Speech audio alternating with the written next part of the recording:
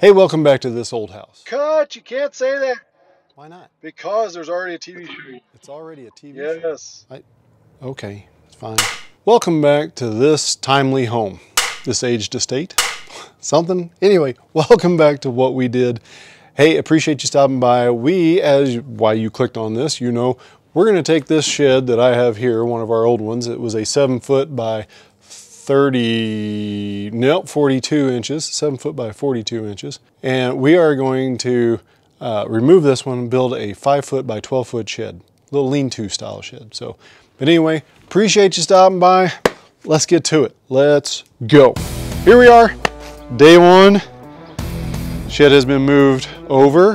And so now, as you can see, working on getting the prep space for the base. So we're gonna bring some base rock in, get it leveled out. So this first part though, I've, I've actually dug out the dirt. I'm about two inches low, so I'm gonna bring in a two inch base, put the base down, we'll tamp it down, get it all compacted, and then we can set the forms for the base of the shed.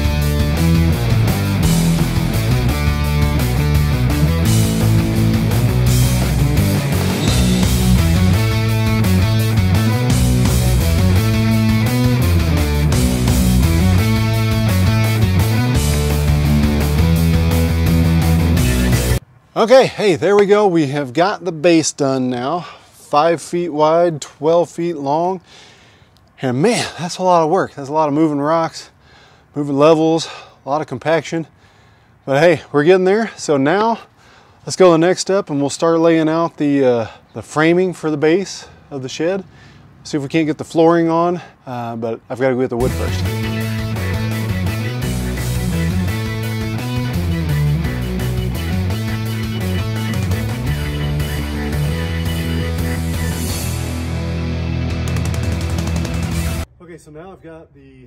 Base put on, and I apologize, I left the microphones inside.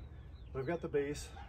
This is, I did it out two by fours. Uh, I'm not gonna have anything real heavy in here, so it shouldn't be an issue based on the size. Uh, so yeah, so we've got two by fours, um, 16 inch on centers, and now I'm gonna put the, uh, the flooring down.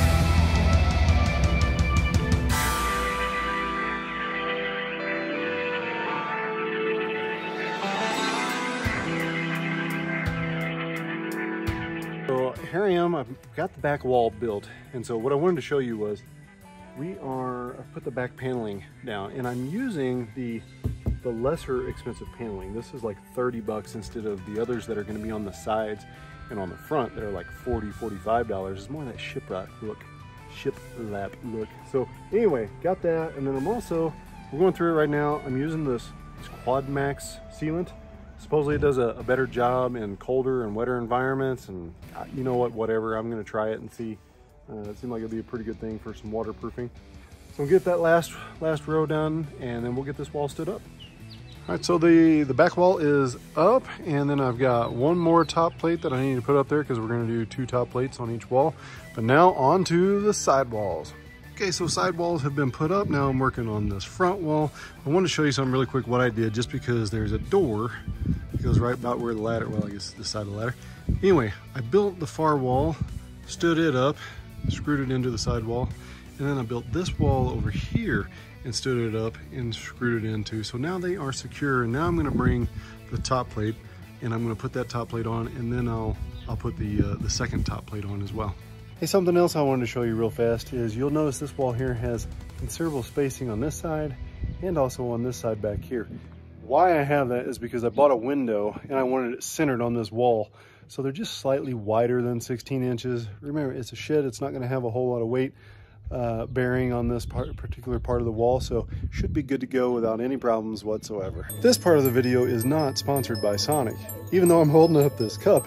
But hey, if you're thirsty, you're thirsty, head on over to your favorite Sonic drive-in, get yourself a large or a Route 44 drink, enjoy and quench that thirst. Let's keep going.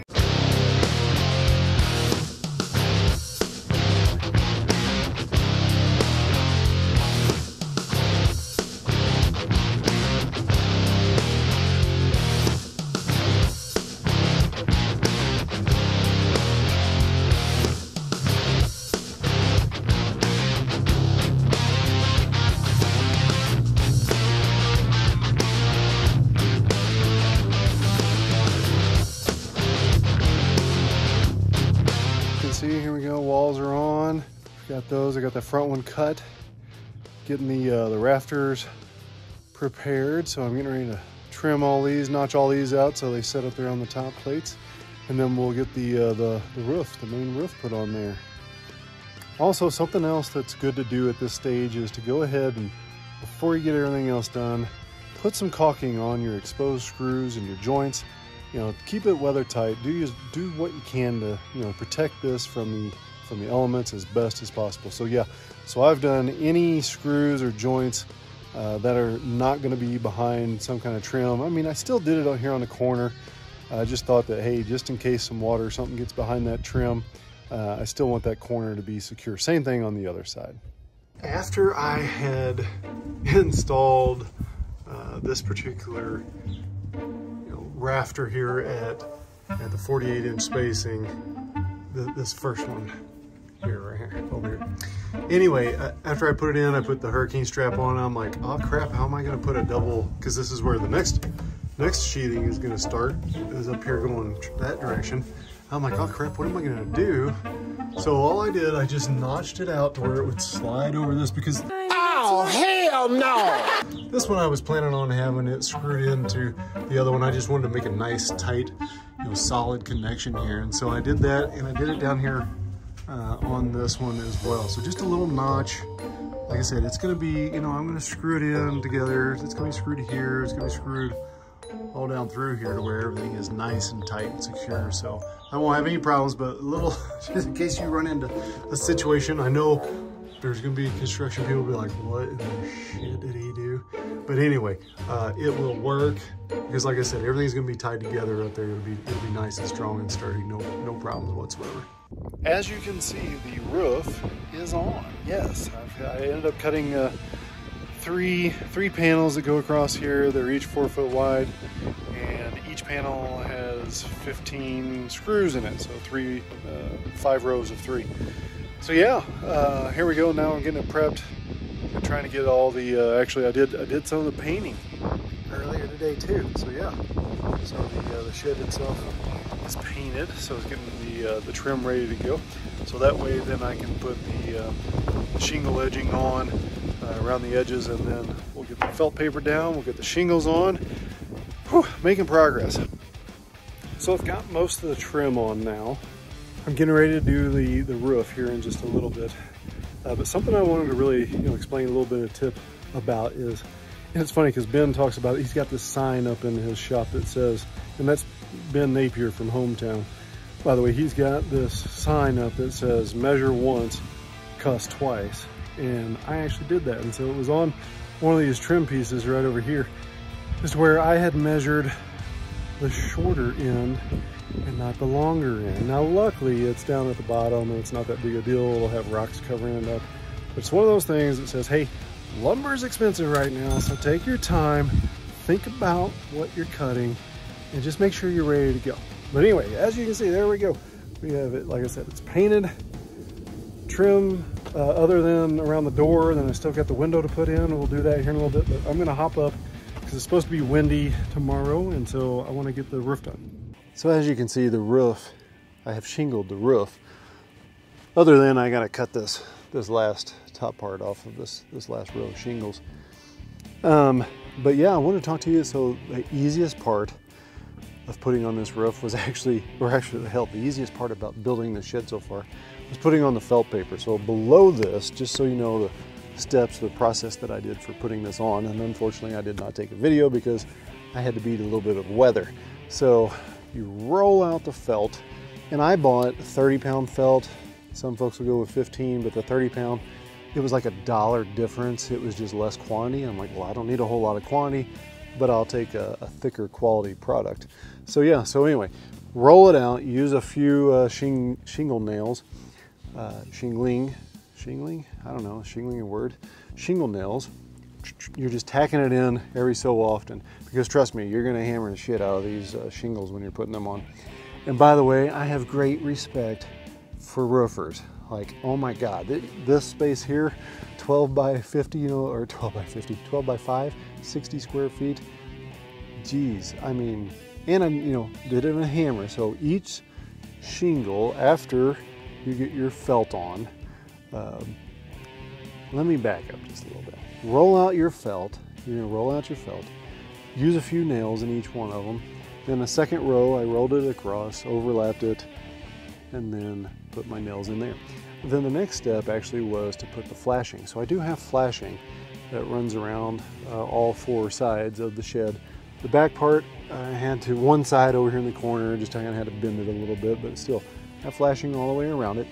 It goes over the top and gets nailed uh, down into it. So it's sticking out on the side. It overhangs about an inch and a half uh, on each edge, but then it is nailed to the top part of your roof. So you do your felt first, then you do the flashing, and then you're gonna come back, start with the bottom row of your shingles. Now it depends on your shingles, which ones, like ours are architectural, so I didn't have to do a bottom row uh, on the bottom of it just to as a starter row. Some of them have slots in them.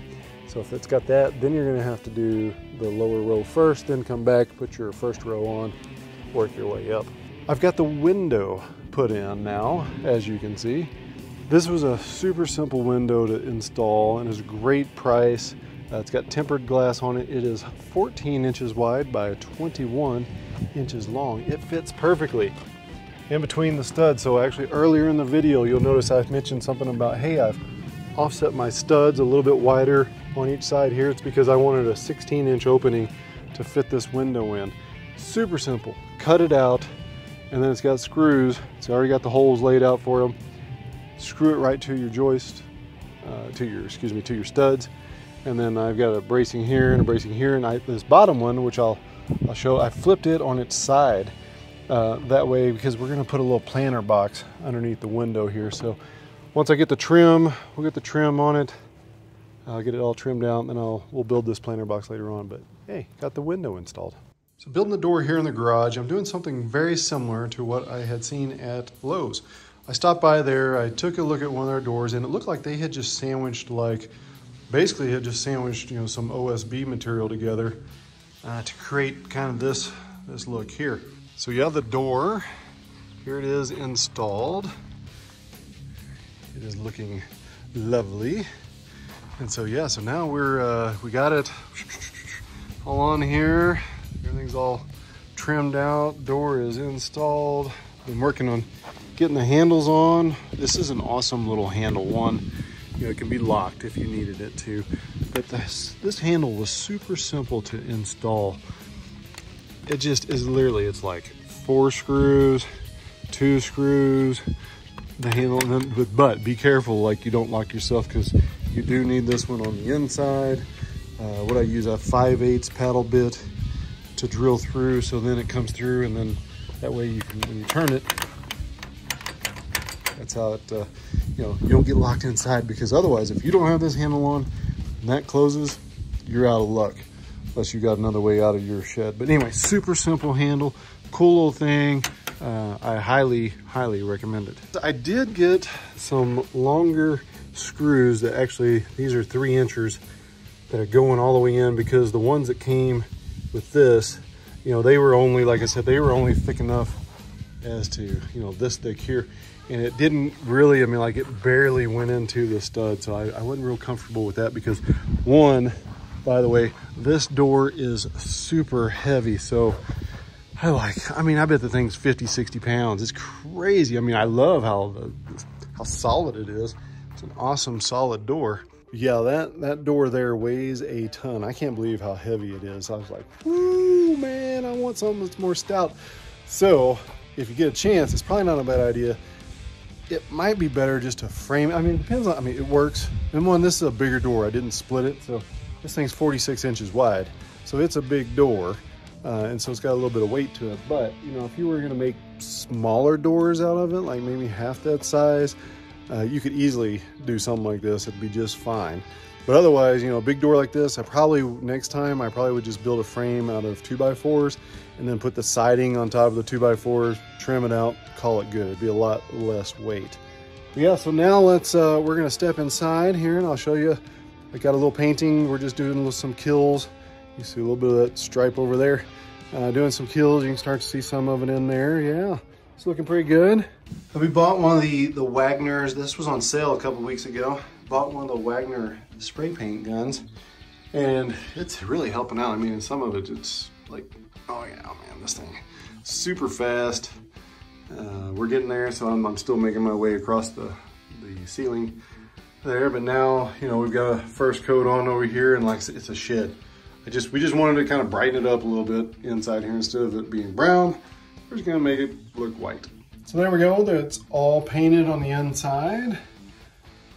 The uh, paint sprayer actually did a really nice job of painting it all. So we've got ceiling, the whole works. So we got a nice, nice good first coat on there and just kind of brightens it up a little bit. Makes it, uh, makes it just a little bit better in here. Something else that I did was I wanted, you know, to not cut a big hole in the shed when I was getting it ready to vent it. So I just drilled a bunch of holes in the side from in there, which should allow, you know, a little bit of breeze coming through. I just didn't want to, I didn't want to cut a big hole. I just didn't like that, that idea. So now I'm going to put the, uh, the vents, the vent, the cover, the grate, whatever you want to call it, up there on it and go from there. And from the inside, I actually tried to line it up with the studs. Unfortunately, mm, missed one over here, bottom corner. It was just slightly gonna be off. I knew I was gonna miss one of them, but yeah, the rest of them, the other uh, four are in the studs there. And I did caulk around the vent as well, just to make sure that no water gets inside all those holes. So top and two sides, and then if anything does somehow get in, well, the bottom side's open, but it's below all the holes. Okay, so one of the, uh, the final additions that we had added to the shed is these little lights back here. Yeah, they're pretty cool. They're all solar powered, just a couple screws to attach it to the shed. Uh, solar panels on all four sides, so it, and it produces some pretty cool light. So here, take a look at this night shot. Anyway, yeah, these things were pretty sweet. We got them off of Amazon. They came in a two pack, and yeah, they do a great job at nighttime. So, hey, might be something you want to add to your shed thanks for stopping by. Appreciate you watching all the way here to the end. It was a super fun project. It wasn't too difficult to actually build this. Uh, it took a little bit of time, thinking, a little effort there, but not, not horrible at all. Took me about three weeks actually to complete the entire project. And here, I'll put a uh, list of the parts, materials that we used, what we paid for them right now. We all know Wood is expensive at this moment in time, so probably cost a little bit more now than maybe what I would pay for in the future, but we needed this storage now. So yeah, so thanks for stopping by, appreciate it, and we'll catch you in the next video. All right, take care, see you soon.